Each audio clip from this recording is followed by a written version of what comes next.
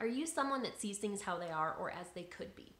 Look at this regarding your business. Are you looking at things just um, getting by how they're working now and just making it doable for you? Or are you looking at things for how it can work better?